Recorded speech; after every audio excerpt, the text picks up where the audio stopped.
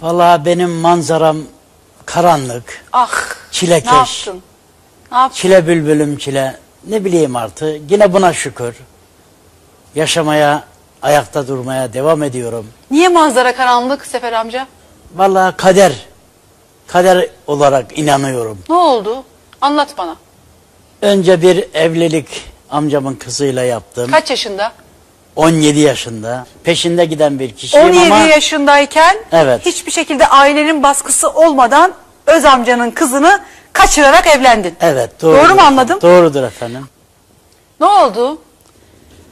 Sonra ne bileyim artık 5 ay iyiydik. 5 ay sonra Ayrı mı bileyim- oturdunuz yoksa hep hayır, beraber? Hayır hayır 5 ay sonra hal ve hareketleri Yok yok değişti. evlenince ayrı mı oturdunuz anne aynı, babayla aynı mı? yerde oturduk resmi nikah yaptırmamıştım. Tamam çünkü daha yaşınız reşit değil. Evet ondan sonra ne bileyim işte 5 ay sonra bana ne bileyim artık yani hiç benim kabul etmeyeceğim hal ve hareketleri yapınca ben de gıcık kaptım. Ne bileyim artık elimden bir kaza sonucu kader kurbanı olarak cezaevine düştüm. Cezasını yattım. Ne yaptın?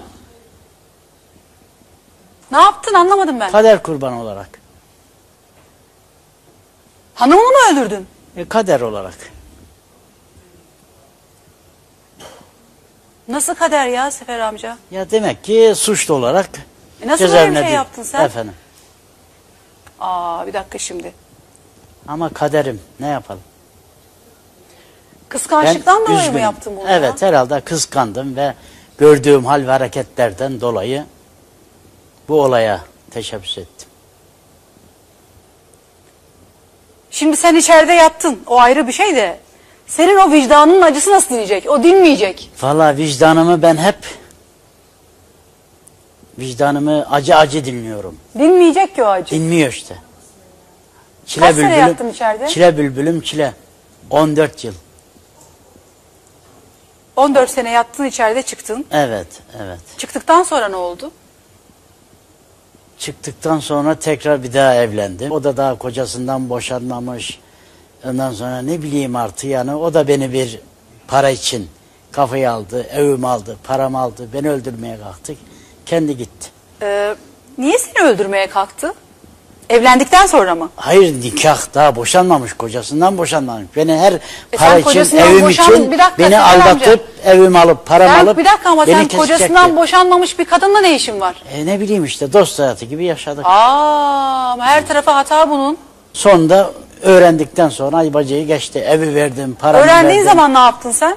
Ben de artık sabretmeye başladım. Sabrede sabrede beni öldürmeye kalkınca kendi öldü.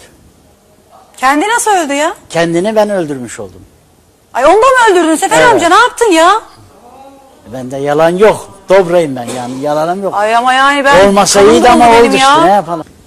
Ne bileyim ben ter, derdimi gerçekleri konuşmak için müsaadenizle Ama yani geldim şimdi buraya. Sefer amcacığım ben Beni bu kabul durumda, eden Ama bu durumda seni beni kimse bu nasıl kabul varlıkla etsin kabul Sefer amca? ederse, Ya şimdi kabul iki tane kadını katletmişsin ben öldürmüşsün. oldum akıllandım artık ha. Ama şimdi nasıl güven ya? Ben bir kere sunucu olarak sana nasıl güvenip de burada ben sana bir hanımı emanet edebilirim ki? Ben bunu yapamam özür dilerim. Ne olur yani lütfen beni yanlış anlamayın ama ben e, programı terk etmenizi istiyorum. Teşekkür ederim. Lütfen. Buyurun efendim. Sağ ol.